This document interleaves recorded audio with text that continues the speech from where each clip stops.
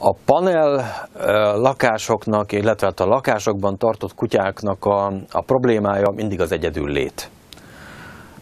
Dolgozunk, iskolába járunk, üres a lakás egész nap, délután gyűlik össze a család ismét.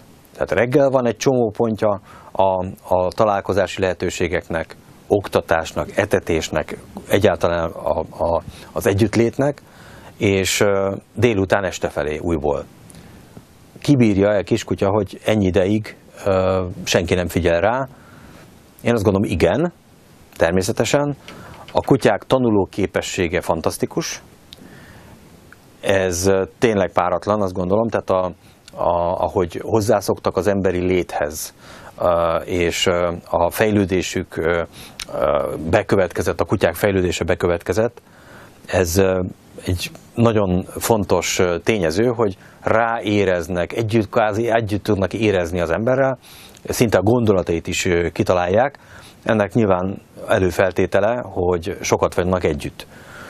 Igenis, együtt, e, egyedül lehet hagyni a kutyát, de ez szoktatni kell. Tehát ez önmagában gyorsan nem fog menni.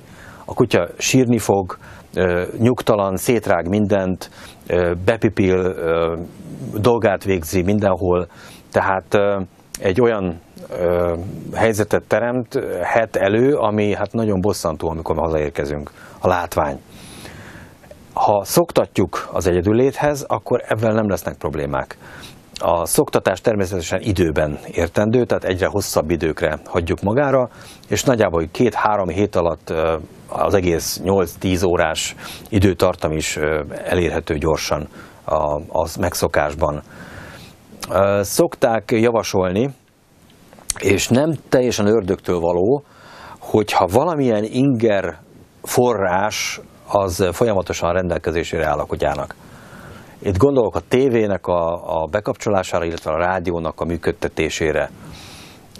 A, a beszéd, az emberi beszédhang, a zene, a változó képek egyfajta ingert biztosítanak a, a kutyusnak, amely, amely kicsit könnyebbé teszi a kutya számára is az egyedüllét elfogadását.